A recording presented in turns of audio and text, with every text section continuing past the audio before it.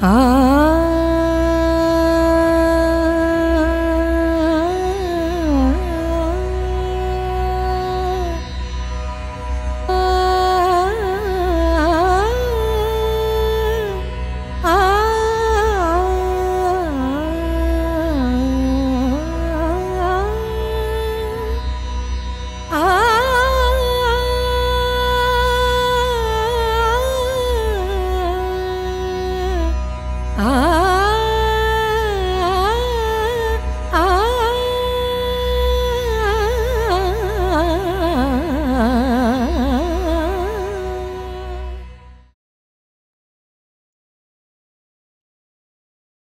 काटे हा विषय निघाला. स्पाईन की तीन नावं आपल्या डोळ्यासमोर उभी राहतात. त्याच्यापैकी पहिलं नाव ते पंडित जितेंद्र अभिषेकी आणि त्यांचं अजरामर गाणं काटा हृदय कोणाला?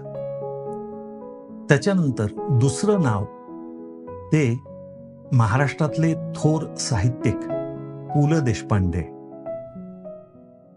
आणि त्यांनी आनंदवनातील अंध बालकांना दृष्टीविहीन असलेल्या बालकांसाठी बिन काट्याचा गुलाब हा भरपूर पैसे खर्चून इंग्लंडहून मागवला होता. आणि तिसरी व्यक्ती उभी राहते डोळ्यासमोर. ती आहे अमेरिकेचा एक विसाव्या शतकातला मोठा बॉटनिस्ट त्याचं नाव ल्युथर बर्बँक. ल्युथर बर्बँक विषयी मी सगळ्यात पहिल्यांदा वाचलं ते परमहंस योगानंदांच्या ॲटोबायोग्राफी ऑफ योगी या पुस्तकात.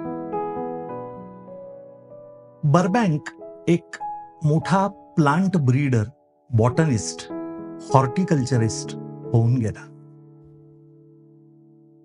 जगाच्या सुमारे शंभर देशांमध्ये छत्तीस हजार रेस्टॉरंट्स असलेल्या मॅकडोनाल्ड्सच्या पोटॅटो फिंगर चिप्स त्या बनतात त्या ज्या बटाट्यापासून बनतात तो बटाटा बर्बँक पोटॅटो नावाने प्रसिद्ध आहे. आपल्या पंचावन्न वर्षाच्या कारकिर्दीत ल्युथर बर्बँकने जवळपास आठशे वेगवेगळ्या उपजाती व्हरायटीज वेगवेगळ्या वनस्पतींच्या तयार केल्या. त्याच्यामध्ये सफरचंदाच्या दहा व्हरायटीज आणखीही इतर अनेक फ्रूट्सच्या व्हरायटीज. पण सगळ्यात महत्वाचं लक्षात राहतं ते म्हणजे बर्बँक कॅक्टसचं नाव. त्यांनी विकसित केलेल्या पस्तीस वेगवेगळ्या कॅक्टसच्या व्हरायटीज होत्या. निवडुंगाच्या व्हरायटीज होत्या. आणि या पस्तीस व्हरायटीज पैकी एक व्हरायटी ही स्पाइनलेस कॅक्टसची होती. काटे नसलेला कॅक्टस. त्यांचा दृष्टिकोन हा होता की जे डेझर्ट ग्रेझिंग ॲनिमल्स म्हणजे वाळवंटामध्ये चरणारे प्राणी आहेत. तर त्या प्राण्यांना कॅक्टसकडे जाताना किंवा त्याच्यावर चरण्यासाठी तोंड टाकताना त्यांच्या तोंडाला जखमा होतात. तर ल्युथर बर्बँकनी एक अशी व्हरायटी तयार केली जी एक उत्कृष्ट स्टेपल फूड तर होतच होतं. प्राण्यांसाठी. परंतु त्याचं एक विशेष वैशिष्ट्य म्हणजे या प्रजाती त्यांनी ज्या एम्पॅथीमधून तयार केल्या त्याविषयी वाचायचं जर असेल तर मग मात्र ॲटोबायोग्राफी ऑफ योगी हे वाचलं पाहिजे. डेझर्ट प्लांट्स किंवा आपण ज्यांना झिरो फाईट्स म्हणतो झेरिक कंडिशन्समध्ये आढळणारे. म्हणजे जिथं पाणी हे कमी उपलब्ध आहे अशा वाळवंटामध्ये ॲरिड झोन्समध्ये आढळणाऱ्या आढळणाऱ्या वनस्पती. आता या वनस्पतींचं वैशिष्ट्य असं आहे की तिथं एक मॉडिफिकेशन आपल्याला पाहायला मिळतं. आपण ते समजून घेण्याचा प्रयत्न करूयात. लक्ष द्या. नॉर्मली कुठल्याही वनस्पतीमध्ये एका स्टेमवर पानं येतात. Leaves they arise on stem something like this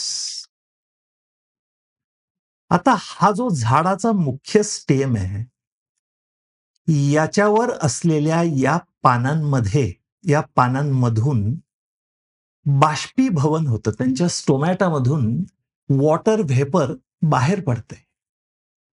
आता हे आवश्यक देखील आहे. त्याचं कारण हे आहे की जेव्हा या वर असलेल्या पानांमधून पाणी हे बाहेर पडतं पाण्याची वाफ बाहेर पडते तेव्हा त्याच्यामुळं या झाडाच्या ऍक्सिसवर एक ट्रान्सपिरेशनल पूल तयार होतो. म्हणजे जसं आपण स्ट्रॉ मधून एखादं कोल्ड्रिंक ओढतो त्याला वरून आपण जी हवा ओढतो तर त्याच्यामुळं ते वर येतं. तसं या पानांमधून बाहेर पडणारी जी वाफ आहे ती एक ट्रान्सपिरेशनल पूल तयार करते.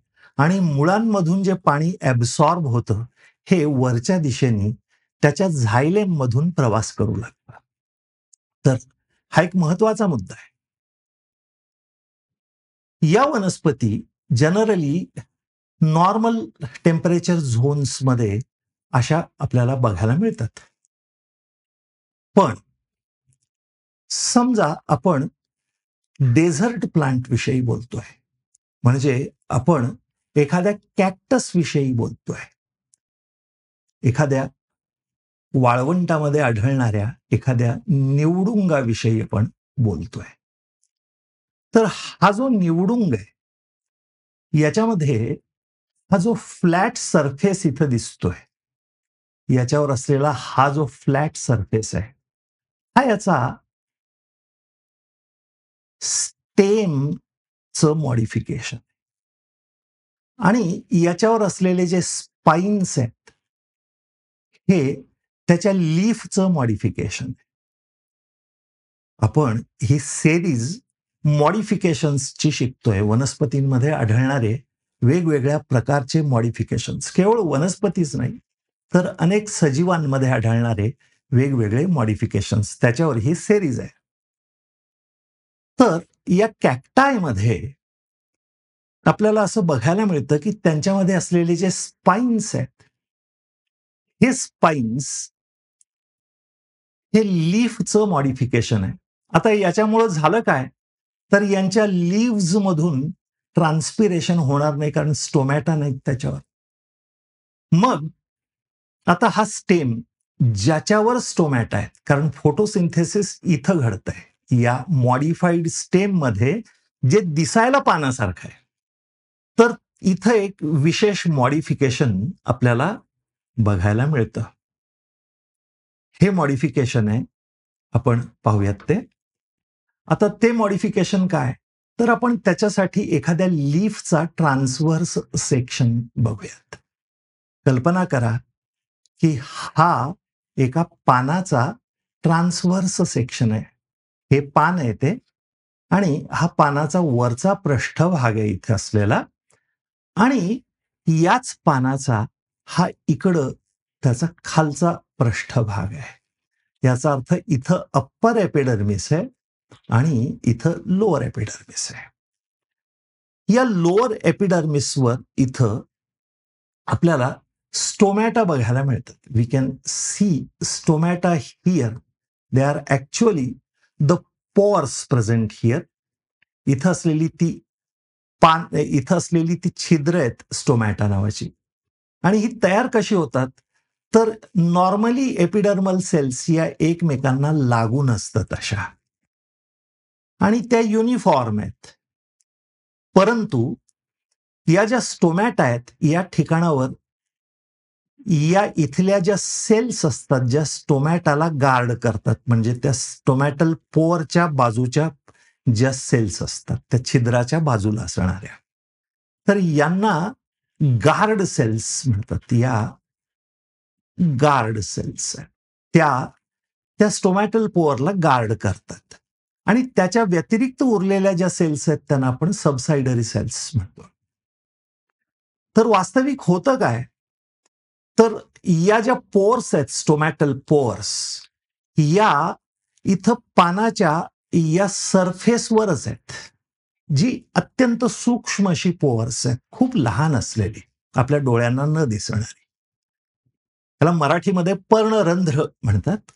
आणि या ठिकाणावर आता या ज्या गार्ड सेल्स आहेत या जर अशाच थोड्या आत वळल्या या अशाच आत वळल्या तर इथं स्टोमॅटल पोअर हे थोडंफार आत निघून जात. हे जे आत गेलेलं स्टोमॅटल पोअर आहे जे पृष्ठभागावर नसून या गार्ड सेल्स या थोड्याफार अशा आत वळलेल्या असल्यामुळं हे पोअर याच्या पृष्ठभागापासून थोडंफार वर निघून जातं. थोडस आत पानाच्या आत निघून जातं. तर ह्या ज्या पोअर्स आहेत या पृष्ठभागावर नाही नाही आहेत तर त्या थोड्याफार आत आहेत. याच्यासाठी शब्द वापरतात संकन स्टोमॅटा सिंक या शब्दाचा अर्थ आहे बुडणे. त्याचा पास्ट पार्टिसिपल आहे संकन तर या स्टोमॅटा या संकन स्टोमॅटा आहेत. म्हणजे या पृष्ठभागापासून थोड्याफार आत गेलेल्या स्टोमॅटा आहेत. म्हणजे काय? बघा. आपण आणखी थोडस व्यवस्थित बघूयात हे. पा या ठिकाणावर इथं आपण म्हणतोय की हे एक असं छानस लीफचं सेक्शन आहे. या पानाच्या सेक्शनमध्ये आपण असं म्हणूयात की या इथं हा अप्पर एपिडर्मिस आहे. या अप्पर एपिडर्मिसच्या सेल्स आहेत आणि इकडं लोअर एपिडर्मिस आहे. या लोअर एपिडर्मिसमध्ये स्टोमॅटा ज्या ठिकाणावर आहेत तिथं असणाऱ्या गार्ड सेल्स या थोड्याफार आत वळल्या अशाच. आणि या आत वळल्यामुळं काय झालं? तर जे स्टोमॅटा या सरफेसवर असायला हवे होते ते या सरफेसवर नसून ते थोडेफार असे आत वळलेले आहेत. थोडे डीपर आहेत ते. थोडे आतल्या बाजूला आहेत. आता ह्या ज्या आत असलेल्या स्टोमॅटा आहेत या सिंक झालेल्या आहेत म्हणजे बुडालेल्या आहेत. आणि म्हणून त्यांना शब्द वापरतात.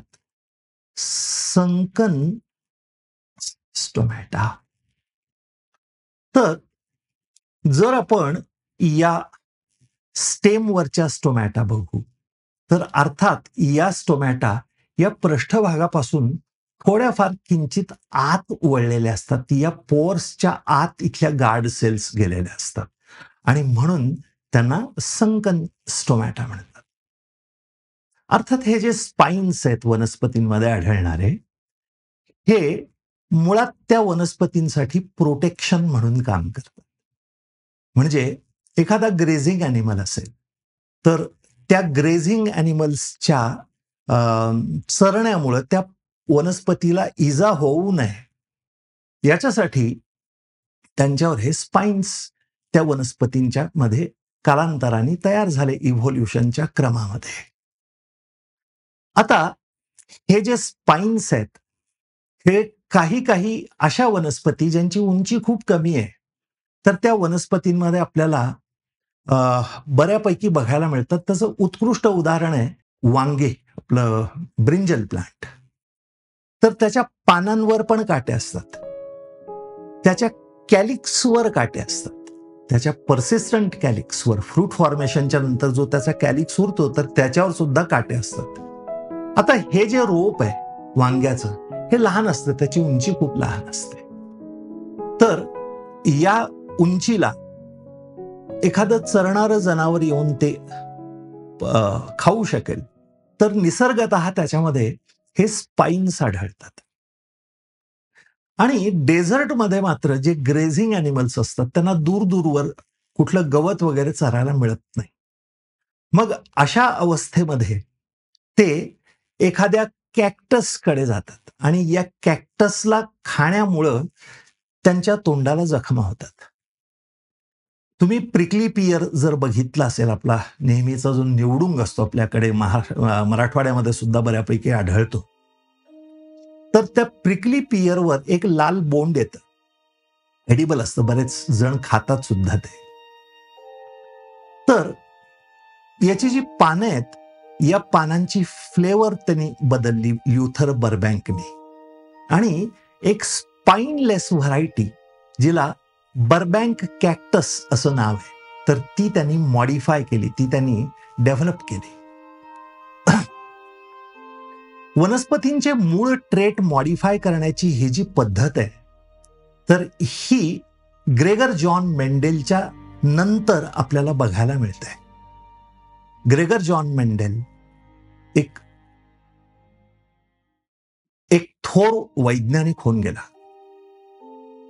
दुर्दैवानी तो एक ऑब्स्कर सायंटिस्ट म्हणजे एक उपेक्षित दुर्लक्षित वैज्ञानिक म्हणून वारला. परंतु त्याचे प्रयोग हे मॉडर्न जेनेटिक्सचा पाया तयार करतात. एका टीचर्स सर्टिफिकेट कोर्समध्ये नापास झालेल्या एका व्यक्तीने एका चर्चमध्ये ग्रेगर असलेल्या एका फादरने त्यांनी तयार केलेल्या या त्यांनी दहा वर्षाच्या प्रयोगांमधून जे तीन मुख्य सिद्धांत मांडले ते विसाव्या शतकाच्या सुरुवातीला कार्ल कोरेन्स व्होन शेरमार्क आणि ह्युगो डी राईज या तीन वैज्ञानिकांनी पुनर्प्रकाशित केले त्याच्याच नावाने. तर हे तिन्ही सिद्धांत जेव्हा प्रकाशित झाले तेव्हा इनहेरिटन्स पॅटर्न्सचा अभ्यास जेनेटिक्समध्ये सुरू झाला. तेव्हा क्रोमोझोम्स माहिती नव्हते. तेव्हा डी एन ए माहिती नव्हता. तो काळ आहे. पण एखाद्या वैज्ञानिकाचं श्रेष्ठत्व याच्यात आहे की तो अदृश्य जे आहे ते सुद्धा पाहू शकतो. त्याचं हायपोथेसिस हे फॅक्ट्सना अत्यंत क्लोजर असतं. तो सक्सेसफुल सायंटिस्ट तो मोठा वैज्ञानिक. मेंडेलनी फॅक्टर्सची जोडी इमॅजिन केली होती. कल्पना केली होती की फॅक्टर्स म्हणजे आज ज्यांना आपण जीन्स म्हणतो तर त्या पेअर्समध्ये असाव्यात. आणि त्याला मिओसिस माहिती नव्हतं कारण त्याचा शोधच लागला नव्हता. त्याला क्रोमोझोम्स माहिती नव्हते जीन्स माहिती नव्हते फक्त ते त्याचं ॲझम्पन होतं. आणि ते ॲझम्पन अक्षरशः खरं ठरलं. तो म्हणाला की गॅमेट तयार होत असताना फॅक्टर्स सेग्रिगेट होतात. आणि आज आपण त्याला मिओसिस म्हणतो. मेंडेलच्या मृत्यूनंतर तब्बल एकोणीस वर्षांनी मिओसिसची संकल्पना मांडली गेली. तर याचं मेंडेलचं श्रेष्ठत्व या गोष्टीमध्ये. की त्यांनी भविष्यात होणारे जे विज्ञानातले बदल आहेत ते प्रेडिक्ट केले तरी सुद्धा दुर्दैवानी तो एक उपेक्षित दुर्लक्षित ऑब्स्क्युअर सायंटिस्ट म्हणून तो वारला. त्याच्यानंतर इसवी सन एकोणीसशे एकच्या नंतर विसाव्या शतकाच्या सुरुवातीला हायब्रिडायझेशनच्या वेगवेगळ्या प्रयोगांची सुरुवात झाली. आणि वनस्पतींच्या वेगवेगळ्या व्हरायटीज घेऊन त्या एकमेकांच्या सोबत क्रॉस करून त्याच्यातून सिलेक्टिव्ह ट्रेट्स असलेले ऑफस्प्रिंग्स त्यांच्या उपजाती त्यांच्या व्हरायटीज बनवण्यात येऊ लागल्या. आणि हे देखील प्लांट मॉडिफिकेशनचं अर्थात आर्टिफिशियल प्लांट मॉडिफिकेशनचं एक्झाम्पल आहे. आता हे संकन स्टोमॅट आहेत हे नॅचरल मॉडिफिकेशन आहे. हे स्टेमचं पानासारख्या स्ट्रक्चरमध्ये कन्व्हर्शन होणं हे नॅचरल मॉडिफिकेशन आहे. स्पाइन्स तयार होणं हे नॅचरल मॉडिफिकेशन आहे. परंतु प्लांट ब्रीडर्स जे सिलेक्टिव्ह मेथडनी तयार करतात ज्या सिलेक्टिव्ह क्रॉसेसमधून तयार करतात तर ते झालं आर्टिफिशियल मॉडिफिकेशन आणि त्याच्यातून ल्युथर बर्बँकनी स्पाइनलेस कॅक्टस बनवला. एक अजून एक इंटरेस्टिंग गोष्ट आहे. ही अशी की हे मॉडिफिकेशन्स हे आणखी कोणत्या प्रकारचे होऊ शकतात? तर त्याचं आणखी एक उदाहरण आहे ते म्हणजे जेनेटिकली मॉडिफाईड ऑर्गॅनिझम्स आपण स्वतंत्र एका भागामध्ये ते शिकणार. परंतु कपाशीचं आज आपल्याला सगळ्यात जास्त माहिती असलेलं जे वाण आहे जे सर्वसामान्य शेतकरी सुद्धा सांगू शकेल तर कॉटनचं हा जो बॅसिलस आहे एक बॅक्टेरियम आहे बॅसिलस थुरिंजियन्सिस तर हा, जो बॅक्टे बॅसिलस आहे बॅक्टेरियम आहे तर हा काही स्पोर्स तयार करतो हे जे स्पोर्स आहेत बॅक्टेरियानी तयार केलेले हे स्पोर्स एक बॅक्टेरियल एक लार्व्हे कंट्रोल करणार एक पेस्टिसाइड आहे निसर्गात ते विषारी नाही. आणि म्हणून ते सस्टेनेबल आहे. ते बायोडिग्रेडेबल आहे. पण जेव्हा कॅटरपिलर एखादा तो त्याला खातो तेव्हा पानांवर जर ते फवारलेले असतील स्पोर्स आणि कॅटरपिलर त्याला खातात तर त्यांच्या गटमध्ये त्यांच्या डायजेस्टिव्ह सिस्टीममध्ये तिथल्या बदललेल्या पीएच मध्ये त्याच्यातल्या टॉक्झिन्स ऍक्टिव्ह होतात आणि ह्या कॅटरपिलर्सपासून प्लांट्स प्रोटेक्टेड राहतात. तर यांची हा प्रोटीन बनवणारी हा थुरीसाईड बनवणारी त्यांच्यात असलेली ही टॉक्झिन बनवणारी जी जीन आहे ही जीन कपाशीमध्ये ट्रान्सफर करण्यात आली आणि त्याच्यापासून तयार झाला तो बीटी कॉटन आपण मॉडिफिकेशन्सच्या या सेरीजमध्ये जेनेटिक मॉडिफिकेशन स्वतंत्रपणे बघणार परंतु तूर्त मी त्याच्याविषयी थोडक्यात सांगून ठेवलं. तर मॉडिफिकेशन्स हे अनेक वेगवेगळ्या स्केल्सवर आपल्याला वनस्पतींमध्ये बघायला मिळतात. ते मॉर्फॉलॉजिकल स्केलवर असतील ते मायक्रोस्कोपिक स्केल्सवर असतील जशा संकन स्टोमॅट आहेत. तर अशा वेगवेगळ्या स्केल्सवर आपल्याला हे मॉडिफिकेशन्स पाहायला मिळतात. तर आजसाठी इतकंच. थँक्यू फॉर लिस्निंग मी सो काइंडली तुम्हा सर्वांना स्वातंत्र्य दिनाच्या